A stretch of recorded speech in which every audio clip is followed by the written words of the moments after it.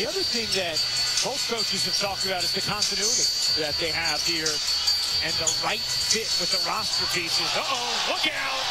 Curry! Shaking for three. Wow.